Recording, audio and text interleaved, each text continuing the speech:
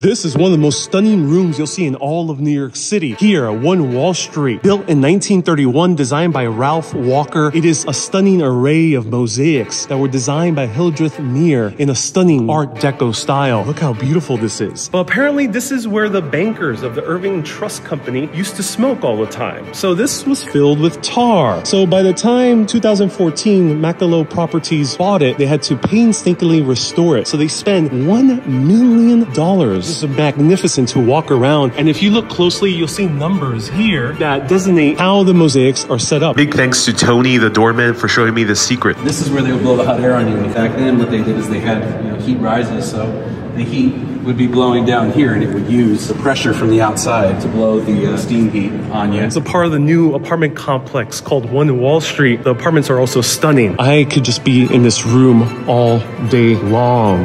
Marvelous. Stay curious, my friends.